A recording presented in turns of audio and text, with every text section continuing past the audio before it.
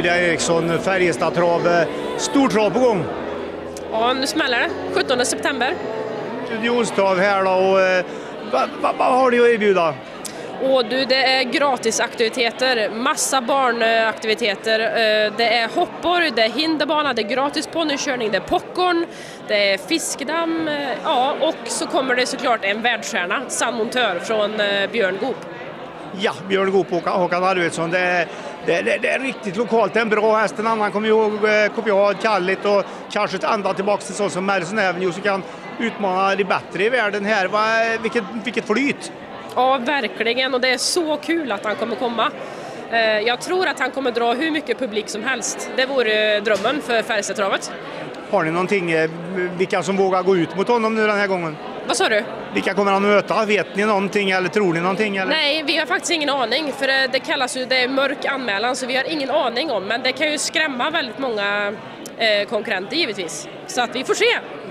Håkan Arvidsson eh, hade ju ett önskemål där också att det inte fick krocka med Färjestad-Leksand. Ja, så nu är det bestämt att det ska gå i avdelning 3, så det kommer starta 17.05. Eh, och det blir ju kanonbra, för då kan man börja sin dag på Färjestadstravet och så kan man se San Montör och sen kan man gå vidare till eh, ishockeyn. Superlördag! Ja, verkligen. Vi ses där! Vi ligger nere i Haga då och vi har behandlingar som fotvård, massage och laserbehandlingar och eh, testbalanserad hälsa. Du är med här och eh, ja, du kommer från Stockholm. Ja, jag är från Stockholm och är här med och supportar lite grann idag just med just den här testbaserade hälsan. Förklara lite om den. Ja, vi vill ju faktiskt se om vi är balanserande i invärtes så att vi kan mäta din fettsyrebalans. Och det påverkar hjärnan, hjärta och kärl så det är superviktigt att du har rätt balans på det. Och det är inte det enda ni har. Det är inte det enda utan ni har lite eh, fotbehandlingar. och- Ja, det har vi också. Fotvård är väl det vi har som huvudsak och arbetat med i många år. Men eh, vi har även gått över till andra behandlingar som massage och laserbehandlingar. Och att vi tog in testbaserad hälsa är för att då får vi bättre resultat på de grundbehandlingarna vi har. Det, det, det är så. Ja, det är det. För när man jobbar då just med fettreduceringen med eh, klass 2-laser så vill vi ju tömma fettcellen. Och har vi då hårda skal där så blir det inte så lätt. Så det blir bättre resultat på dina behandlingar, absolut. Nej, vi kommer nog från Visualized. Eh, det är ett företag då som vi startade 2017, eller ja, min bror startade 2017. Jag hoppade väl på rollen som eh, säljare vid 2019 var det. Eh, så vi jobbar ju med allting inom arbetsplatstjänster och videomöten. Vi distribuerar även ett, ett amerikanskt videomöte, eh, Zoom bland annat.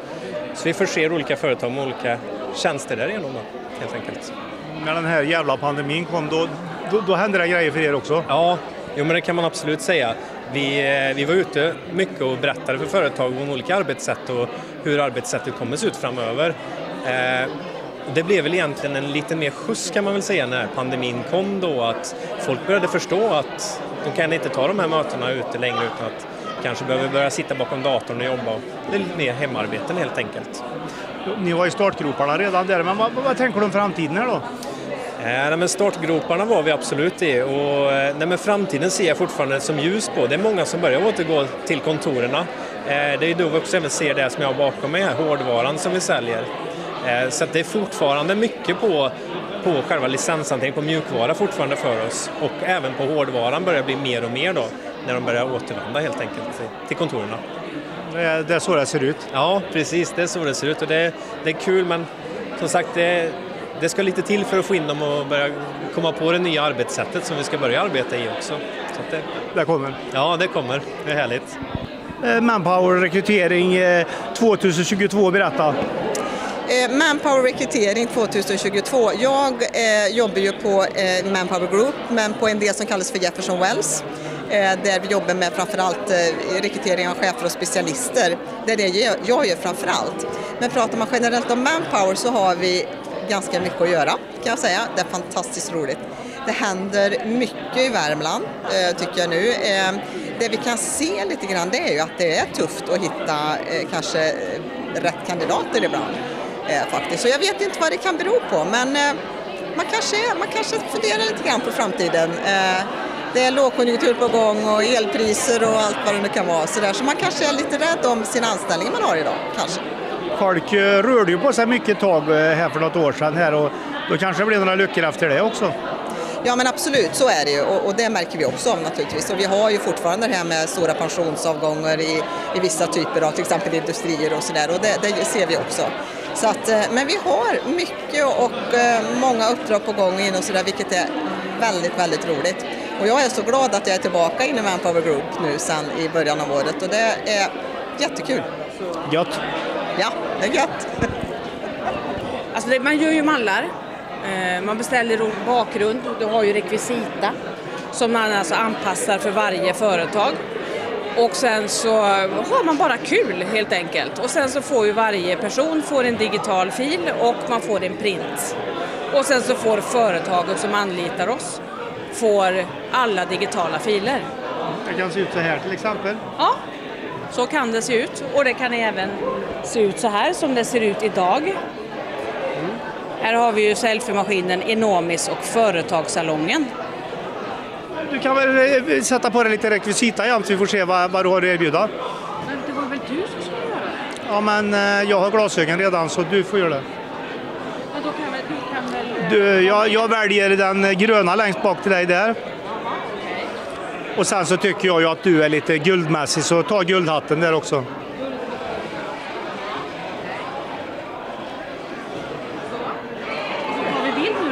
Vi kan säga så här att det, det här är en ytterlighet utav vad ni använder. Glasögonen alltså? Ja, det, det, det, här är ju jättepopulärt. Men sen så har vi ju en boa och sen så måste man ju ha ett instrument också. Så. Eller hur? Selfiemaskinen? Ja, selfiemaskinen.se. Vi pratar Baltic här och eh, det är lite positivt. Känns det som inför vintern? Jo, men det tycker jag absolut. Vi har fått den nya hallen. Känns väldigt positivt. Och laget känns väldigt, väldigt intressant faktiskt. Ja, ni har fått lite nytt och eh, ni har hunnit träna inne i en vinter också. Ja, det har väl inte...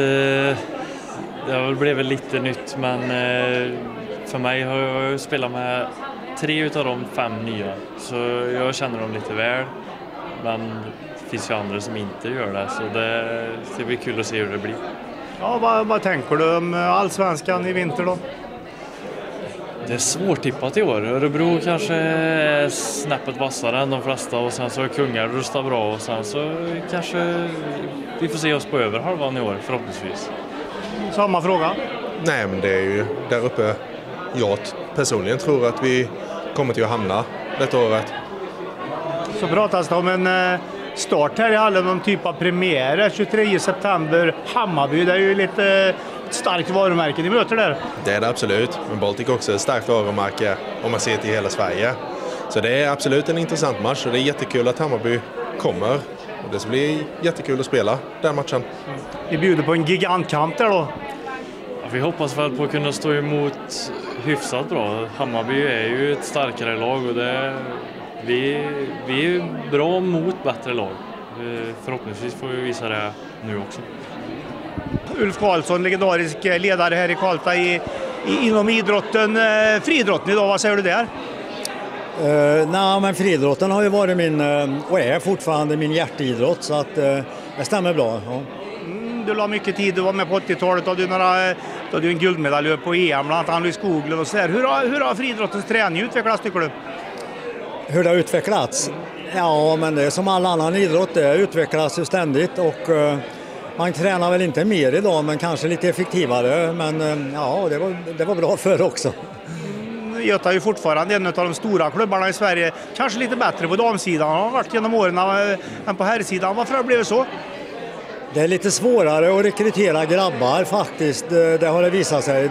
Dels är ju de eh, av tradition väldigt intresserade av lagidrott.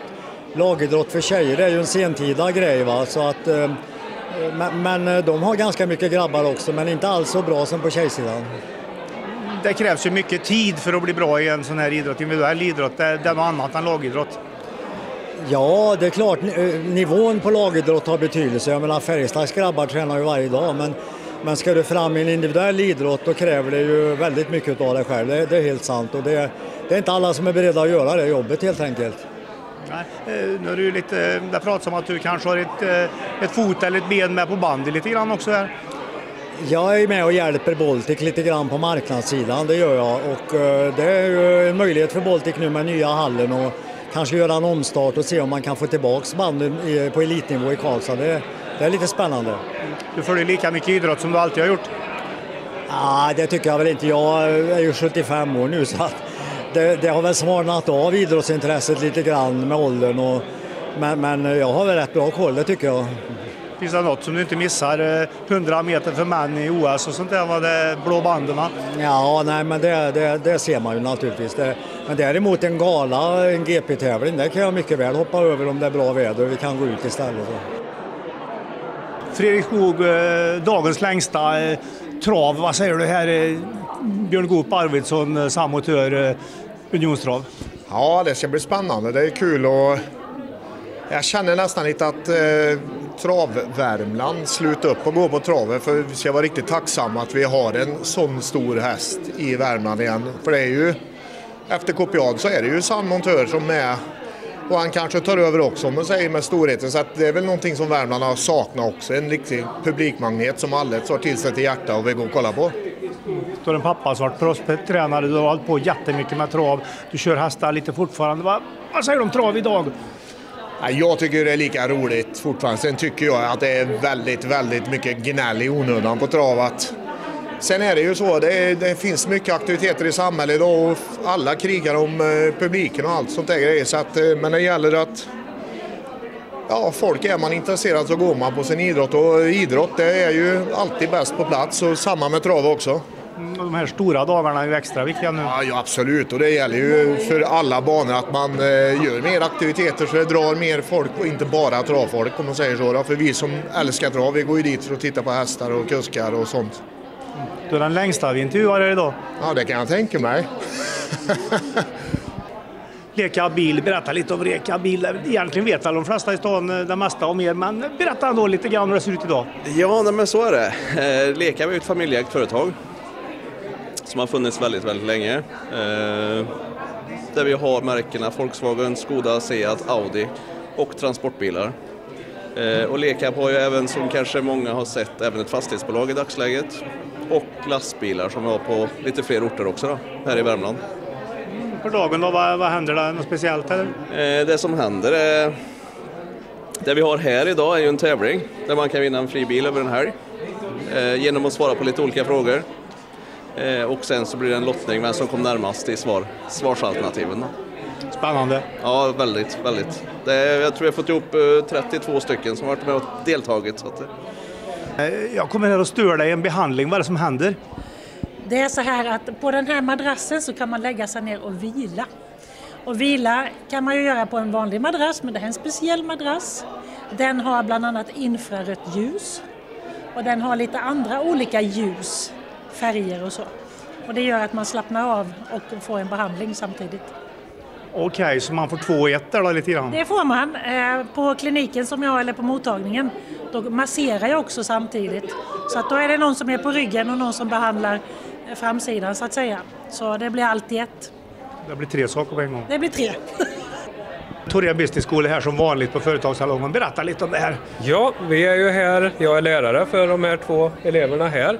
Och vi är ett gäng på 20-25 elever som är här och hjälper till idag med ditten och datten. Och det har varit i flera år nu? Ja, vi är inne på tredje året här nu. Så nu är vi rutinerade. Vad tycker du? Hur tycker du det är att vara med här? Ja, det tycker jag är väldigt roligt. Det är kul att få nätverka med olika företag och så. Ja, det ger lite. Mm, verkligen. Och vad tycker du? Jag tycker samma. Det är väldigt roligt. Man går runt och pratar med nya människor och får nya kontakter och även eh, praktikplatser och allt möjligt. Så det är jättebra. Då får du lite försprång på nästan. Ja, precis. Utan att mäta. Du får måtta och göra som du vill, ja. men såga på 13,7. 13,7. Varsågod. Tack.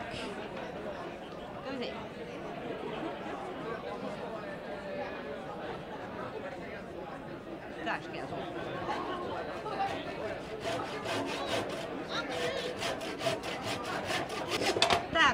Så är det. Du, du, du ser ut som en riktig, en riktig fritidssnickare, är du det? Självklart! Du får se hur detta går då. Nu ska det mätas här också. Jag tror det är mäter vi. 13,6. Kanske du får mäta på rätt sida där, där Jag, längst. jag mäter på längsta sidan. 13. Inte så Det var bra jobbat. Ja, det var det bästa, en av de bästa idag. Eh, kan vara en av de bästa idag. Postil Johan finns kvar. Jajamän, vi finns kvar precis som vanligt. Det är Postil Johan utan Johan. Ja, det är det. Men det, det funkar bra. Men Ni cyklar runt hela stan och... Jajamän, vi har cyklar och vi har även elbilar nu. Så vi kör på lite andra ställen också. Vi är ute i hela Värmland och kör. Okej, men, men på cykel får ni ju fina testvärden. Ja, exakt. Det kommer låren sprutare syra, vet du. Avab, eh, berätta här. Ja, vi jobbar med ljud, ljus, bild, smart styrning och numera även kamerasystem. Så det är skoj. Användningsområden? Eh, Allt från sporthall till konferensanläggning. Eh, Det grundade sig i hyrljud för eh, 32 år sedan. Sen har vi börjat med ljud, ljus, bild till fasta installationer. Så det är spännande.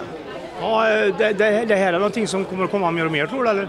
Ja, framförallt kamerasystemen med tanke på brottsligheten vi ser i Sverige idag så behövs det överallt. Andrea Meijer heter jag. Anders Larsson. Ja, och Länsförsäkringar. Ni är här på eh, Företagssalongen där ni brukar ni vara förut också. Vi har varit här många år. Vad är det som eh, du tycker är bra här då? Ja, men du ser, det är ju fullt med folk som kommer här så att det, det är bra att vara med här och syns. Det är många som kommer fram och vill fråga lite saker, prata med oss. Och andra också såklart. Ja, vad får du för några frågor här nu då om Länsförsäkringar? Eh, ja, men man får ju väl- väldigt varierade frågor. Jag är från fastighetsförmedlingen hos oss. Eh, så att vi får ju både från det men också för bank och försäkring. Så det är väldigt olika, spridda frågor skulle jag säga. Och kanske någon värdering någon gång? Eh, ja, det hoppas vi ju, absolut. Att kunna få komma ut och värdera både villa och bostadsrätter. Tycker du det är trevligt här? Ja, men det är ett jätteroligt event. Alltså jag, vi har ju som sagt varit, här i många år och det är ju kul. Alltså det är ett kul sätt att träffa människor och väldigt mycket blandat med, med folk liksom. I alla åldrar egentligen. Ja, jag kan väl bara instämma i det du säger. Ja, men det är ett kul ställe att träffas på det här. Jag tror att det, det skapar nog en hel del eh, möten och affärer i, sin, i, i förlängningen också. Tommy Magnusson, vad är det för någon Formel 1-grej du har här? Ja, det är vårt nya Premium Coffee som vi, vi höjer ribban nu när det gäller kaffe och det, våra kunder. Mer mer fokus på våra kunder om vi säger så. Hur höjer man ribban på kaffe? Eh, det gör man med att man har mer att styra med med smakerna. Och då kan man också få ut mer från varje böna. Och sen kör vi Löfbergs specialkaffe i den här som är både ekologiskt och eh, Fairtrade. Det är också viktigt i de här delarna. Sen har vi själva kaffemaskinen som då är uppkopplad mot oss. Så ser vi att det är någonting som börjar gå sönder så kan vi laga maskinen innan den går sönder. Och är det så att de tycker på något ställe att det inte smakar riktigt bra då kan vi gå in och styra recepterna utifrån våran, eh, vå- vårat hem så att säga. För mig är det bara att slänga i bryggan hemma och dra, men det, det här är high tech. Det här är high tech det. First things first, berätta om det. Ja, det är ju ett företag som jobbar med beroendefrågor. Eh, i huvudsak så sköter vi egentligen hela, alltså utifrån att det blir ett case på, ett, på en arbetsplats eh, så kan vi vara med och rådgöra och hjälpa till. Och också ända fram till att man behöver diagnostisera hur beroendet ser ut till behandling. Och det som är unikt är väl att vi erbjuder en, en, en behandling då för människor i arbetsliv. Istället för att åka bort till, till, eh, till eh, behandlingshem så kan man göra sin behandling på hemmaplan fullt ut. Då. Man är sjukskriven med förebyggande sjukpeng och så är, går man i behandling på dagtid under två månader. Då. När jag var ung då fick, fick det gå in de som hade problem gå in och få en antabus före. Ja. Det här är något mer. Det här är något annat, helt annat. Eh, Vi jobbar ju med att lösa problematiken, inte att bara dämpa den liksom under en period utan utan man, man särskiljer och ser om det, är ett, om det är en beroendeproblematik eller om det är ett skadligt bruk och så därifrån sätter upp målsättning. Då. Eh, och så jobbar man ju utifrån det. Då. Eh, och, en del människor kanske inte behöver en omfattande behandling utan enskilda samtal och man kan jobba utifrån kontroll och sådär. Och andra människor kan inte ha kontroll och då måste man jobba utifrån en ny- helnykterhet eller en helt drogfrihet. Då. Dockan här, vart den heter den? Dockan, henne har vi liksom uppfostrat själva eller producerat kan man säga. Hon är en kompis som hänger med ute i klassrummen när vi håller vårdföreläsningar i arbetsmarknadskunskap och berättar om framtidens jobb inom vården. Handelskammaren då, eh, berätta. Ja, men vi är ju en medlemsförening, en näringslivsorganisation som är helt oberoende. Vi är drygt 1200 medlemsföretag som tillsammans driver den gemensamma rösten för att Värmland ska utvecklas och vara rätt ställe för företagen att växa och utvecklas på. Jag märker att jag hade, jag hade ett fel på tipset där, eh, hur många företag ni hade med. Ja, men jag försökte ju hjälpa dig men du var mer inne på att fylla i du än att lyssna på mig. Den tar jag. Ja, varsågod. Anders Lidström, Tingvalla, hur ser det ut? Eh, Det är ju på gång nu. Ja, mycket spännande. Det går fort nu med seriepremiär och så ser vi fram emot. Fulla Övrigt då, ni har ju lite bollningar och allting i hallen. Ja, det har vi. Vi har ju sporterna innebandy, bol och klättring och sen såklart försöker vi få ut eh, lite event också som vi kan möjliggöra och skapa för företag. Så att eh, vi hoppas få lite mer besök. Mm, En annan undrar ju, jag var ju och träffade de här, både tjejerna och killarna i Karlstad innebandy och eh, det satsas uppåt. Ja, men det gör det. det, gör det. Eh, De ser bra ut, förberedda och eh, ser med spänning fram emot seriestarten. Jag heter Nick Schipper. New goal i en eh, Karlstad innebandy. Ja, jag är en målvakt på innebandy i Karlstad. Ja. Du kommer från Schweiz. Ja. Hur är innebandyn där? Jag spelar i Riechenberg. Jag spelar på mycket bra klubbar ja, i, i Schweiz. Eh, nu jag spelar i Karlstad IBF. Ja, och vad säger du om att spela här och träna med det här laget? Eh, laget är bra, uh, tränaren är bra, så det är roligt. Jag var på en träning här, det är gött tryck i grejerna. Jag Ni satsar in- hårt, ni satsar hårt. Ni tränar hårt. Ja, ja, ja. Jag tränar hårt. Och laget? The Ja. team train hard. Ja, ja. Eh, laget tränar hårt. Underbart. Underbart. Vad va, va, va, vad säger du om dagarna? Ja, men det här är, eh, stod precis och pratade med Jakob och säger att det här är troligtvis den bästa jag har varit med om, en god känsla. Och vi har ju haft förmånen att få bli inbjudna av Jakob ända sedan starten och det är en jätteviktig dag för oss att kunna få vara här. Så den bästa känslan hittills av alla gånger. Mm, Ikea under de här åren som har varit då, hur har ni haft det? Ja, vi har eh, stor respekt för det som har varit de senaste åren och, och väldigt ödmjuka att eh, det fortfarande finns ett stort och kanske till och med ett ökande heminredningsintresse. Eh, det är ju väldigt många som då har valt att jobba hemifrån, som väljer att göra om sitt kök, som väljer att, ja, och så vidare. Och, och där vill ju vi vara en, en god partner och se hur vi kan bidra till det. Och ni har en ruggig bredd på allting. Ja, vi försöker att se. Eh, Viktiga är ju att eh, vi lyssnar på kunden och ser vad han eller hon vill ha och se hur vi kan då tillgodose det. Jakob Lund där då, eh, Företagssalongens egen eh, boss. Eh, Vad, säger du om den här dagen? Hur roligt som helst. Det här, eh, ja, det är sånt, de här dagarna man går och längtar efter. Och det som Johan säger är, det är nog den bästa salongen hittills. Ja, och, eh, jag vet hur det är. du krigar med det här månad efter månad och det har varit lite tufft men nu känns det ju verkligen som att det är, det på riktigt. Ja, nu är det ju öppet här. Nu är det öppna spjäll och alla är ju här och sådär. Så den här dagen gillar vi och den här blev riktigt lyckad. Trevliga människor och lite roligt och lite kul och lite skoj. Och... Ja, där är det ju kreativa utställare, kreativa besökare och folk som vill någonting som är här. Och, ja, det gillar vi också. Och rock'n'roll. Ja, det är det vi har. Ja, Mikael Blom, eh, team eh, Olme, det, det, det, det är viktiga saker du håller på med. Ja, det är viktiga saker. Det, det kan man säga att det är. Det är allt ifrån proteser till inlägg så att eh, det kan vara livsavgörande från början. Ja, men jag menar, eh, fötterna går man ju på. Det, alla som har fått ont vet vad det, vad det innebär. Ja, eh, verkligen. Man tänker att fötterna är ju inte så här, ja men det är hjärtat och hjärnan som är det viktigaste. Men fötterna gör ju att man kan hålla igång, för får du inte igång, ja, då får du sämre blodcirkulation och då kanske inte hjärnan fungerar lika bra, till exempel. Hur har det här utvecklats genom åren? Det utvecklar sig bra. Nu har vi flyttat till nya lokaler in i Karlstad centrum från Skoghall och från sjukhuset. Så att eh, nu utökar vi och det är ett bättre sortiment och bättre service framför allt mot eh, patienter och kunder. Och bättre inlägg och bättre allt. Ja, allting. All kunskap på samma plats gör bara bättre förutsättningar så att vi ser ljus på framtiden. Vi är en rådgivarorganisation som finns runt om i hela Sverige. Vi eh, hjälper till med avgiftsfri rådgivning när man vill starta ekonomiska föreningar och kooperativa företag. Det finns en del sådana här föreningar, man kanske inte märker dem så mycket men de, de ligger och pyr lite på olika ställen.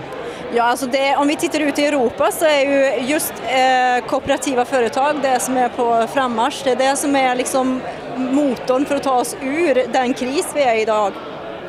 Känns det positivt? Jättepositivt.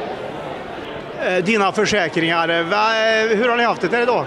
Det har varit väldigt bra. Strid ström på glada besökare. Vi är glada att få vara här och sprida vårt budskap.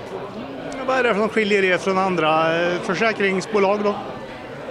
Jag skulle säga att det är kontakten man får med sin säljare, den man ringer till. Vi svarar och försöker vara nåbara och lättbegripliga. Världsklass.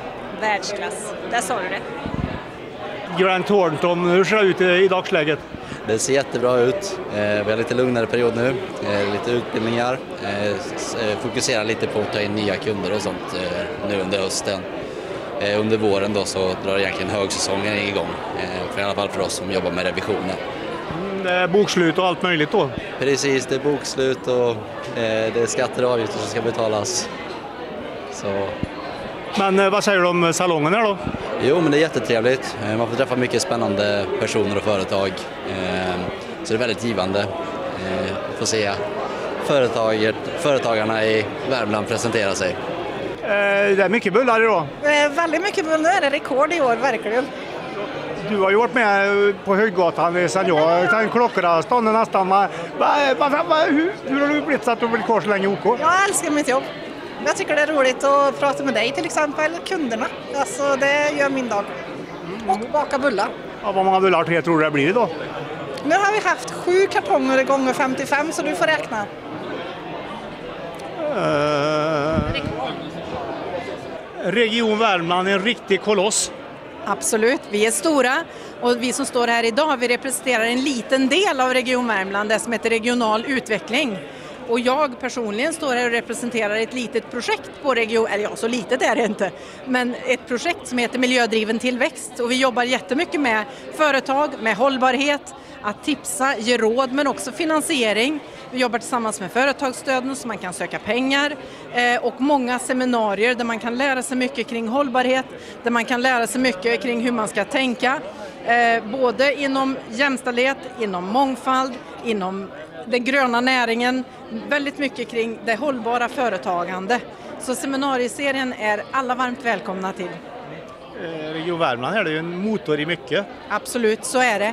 Tyvärr är det många delar jag inte kan svara för, men regional tillväxt kan jag svara lite grann i alla fall.